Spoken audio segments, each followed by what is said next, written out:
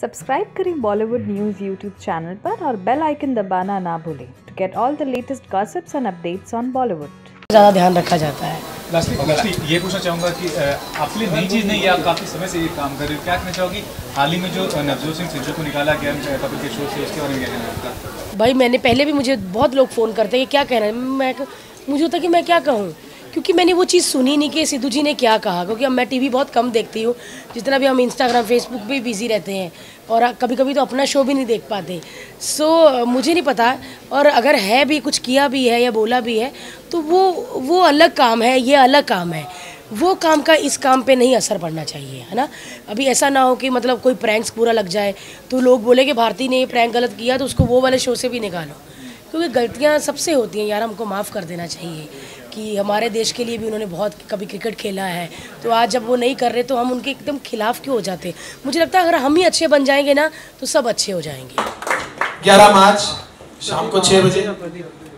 शुरू हो रहा है। वीडियो देख के सबसे ज़्यादा कौशल बहुत खुश है। ये मेरे मैनेजर हैं। बहुत खुश है कह रहे और मैडम का काम चलेगा पर्स, परसेंटेज बढ़ेगी। ये बैठे हैं जिन्होंने सबसे भयंकर टी शर्ट पहनी है, जो डिज़ाइन ही नहीं समझ आ रहा। कौशल एक बार दिखाओ, पूरा मीडिया जानना चाहता है, ये कौन सा डिज़ाइन है? ये थोड़े अलग है, जिस दिन ज़्यादा गर्मी होती है, उस दिन मोटी टी शर्ट पहनते हैं। और जिस दिन ठंड होती है पतली सी टी शर्ट तो पता नहीं मुझे, मैं इसको पागल कर देती हूँ, ये ऐसा ही है या फिर so thank you so much guys हम ऐसे ही हँसी मज़ाक में ही ये शो बन गया और इतने बड़े बड़े फेस इस शो में जुड़े हैं। सो होप सो कि आप सबका बहुत प्यार मिलेगा।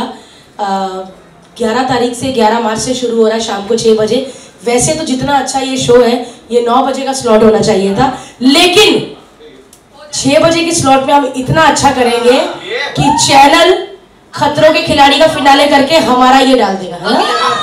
अगला सीज़न नौ बजे। अरे नहीं नहीं छह बजे का स्लॉट इतना गर्म हो जाएगा कि बाकी सब कंपटीशन में छह बजे डालेंगे क्योंकि वहाँ सब देखने हमारे पास हमारी टीआरपी लेकिन अभी है। नहीं अभी आठ बजे कर दो क्योंकि नौ बजे इनका राइजिंग स्टार है ना। अच्छा हाँ। तो अभी इन्होंने पीछे से बोला मेरे राइजिंग स्टार का क्या होगा? सो कोई बात अब भी नहीं होने वाला था। आठ बजे तो नागिन आठ बजे नागिन है। भाई देखो सबके अपने छह बजे अच्छा स्लॉट है भारती। छह बजे। ठीक है। देखिए बहुत सारी बातें हो गई भारती। मैं एंड में इतना ही कहना चाहूँगा कि शो काफ़ी सिंपल है।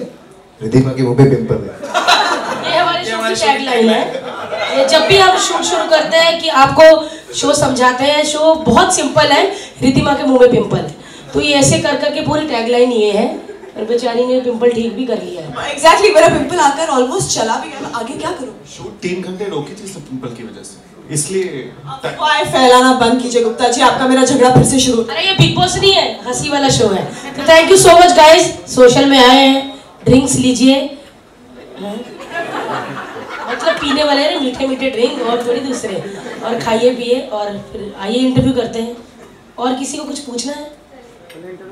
हो गया है नहीं नहीं गोरा हाथ आया।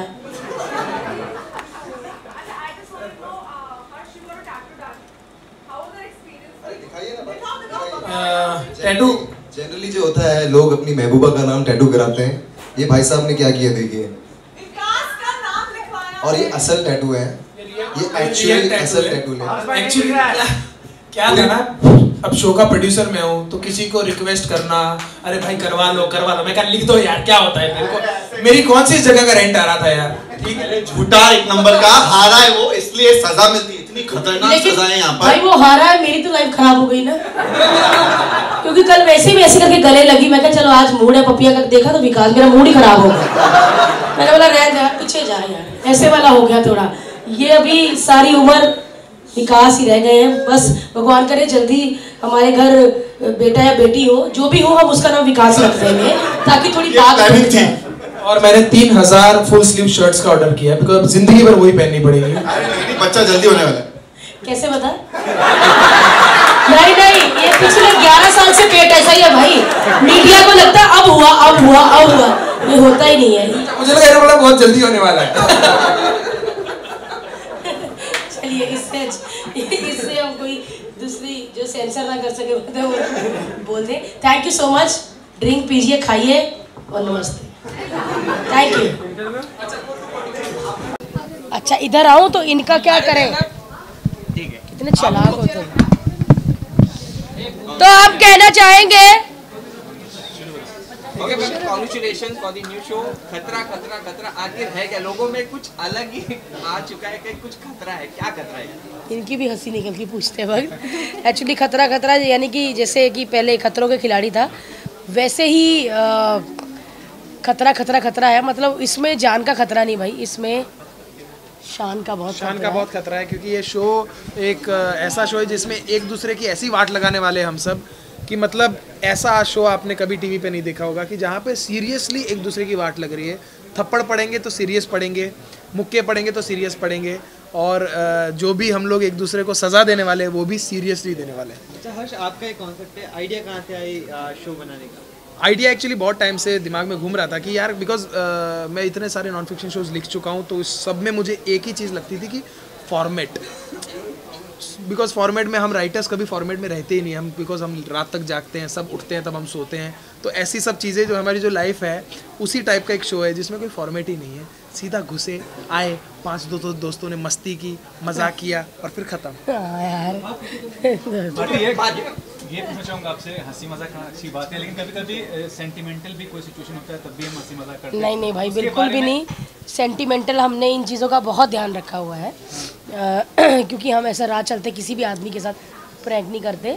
हमने पूरा प्लान किया हो सामने वाले को नहीं पता, लेकिन बुलाते ही उस बंदे को है कि वो गुस्सा ना करे। जैसे कभी मेहंदी वाली को बुला लिया म्यूचुअल फंड वाले को बुला लिया, या इनका मेकअप करके इनको सैलून वाला बना दिया तो ऐसे वाले हैं। और बाद में जब उनको बताते हैं कि ये प्रैंक्स हैं, और भी सारे आर्टिस्ट आ जाते हैं रूम से बाहर, और बताते हैं कि यहाँ पे कैमरे लगे तो वो बहुत खुश हो जाते हैं। फिर हम बोलते हैं सॉरी सॉरी कोई बात नहीं सेल्फी तो वो सेल्फी लेके खुश हो जाते हैं। तो हमारे लिए ये बहुत बड़ी बात है। सो लोग बहुत प्यार करते हैं। जब ओरिजिनल देखते हैं भारती जी आप आप बहुत हंसाती हैं। तो बहुत अच्छा लगता है तब। सो ऐसा ही ये शो है।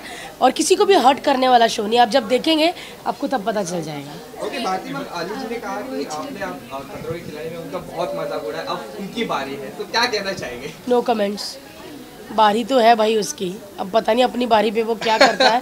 मुझे बहुत दीदी दीदी दीदी दीदी दीदी आप करते थे दीदी दीदी तो ना थूक उड़ाता था अली लेकिन इस शो में है वो। मतलब इस शो में उस शो के बदले लेने का भी मौका मिलेगा। चाहेंगे? हाँ यार ये ये थोड़ा ज़्यादा हो गया। क्योंकि अब मैं ही प्रोड्यूसर हूँ तो मैं किसी एक्टर को कन्वेंस करूँ कि भाई आपको ये करना चाहिए। अरे भाई प्लीज़ कर दो प्लीज़ कर दो। मैंने बोला छोड़ो किसी को कन्विंस करना। आ जाओ यार मेरे हाथ पे कर दो और मैंने करवा दी। ओके, आप दोनों साथ में शूट करते हो तो कितनी नोकझोंक होती है? प्रोफेशनली होती रहती है। तो कितना प्यार है कितनी नोकझोंक है? क्या कहना चाहिए इसके बाद? नोक झोंक तो बिल्कुल नहीं प्यार बहुत आज है। दस साल हो गए लिखते लिखते उसके लिए साथ में काम करते करते दस साल हो गए हैं। तो नोकझोंक होनी तो पहले दो तीन साल में हो गई है। अब पता ही है, ये भी क्या सोच रही है, पता ही है, मैं भी क्या सोच रहा हूँ। और इनको पता चल गया है कि यही ताकतवर है, मैं हार जाऊँगा। और सेहत भी वैसी है तो ये ज़्यादा पंगा नहीं लेते अपनी बीवी से। हर्ष वाकई बड़ा बड़ा प्यारा पति है, बहुत अंडरस्टैंड करता है। अब मैं हर्ष लेट आऊँगी घर, कभी नहीं हर्ष ने बोला, क्यों, किधर है? कहाँ जा रही? अच्छा ठीक है। कभी कभी मेरे को गुस्सा आ जाता है कि सामने से पूछना कि किधर जा रही है, किसके साथ है? पूछता ही नहीं है। फिर मैं घूमती रहती हूँ। सो so, बहुत मेहनती है और मुझे बहुत प्राउड है हर्ष में कि हर्ष का ये पहला शो है जिसे एज ए क्रिएटिव डायरेक्टर वो कर रहे हैं और आ, बहुत एक्साइटेड हूँ मैं और मैं दिल से बहुत ज़्यादा मेहनत कर रही हूँ क्योंकि जब अपना शो होता है अपना बच्चा होता है तो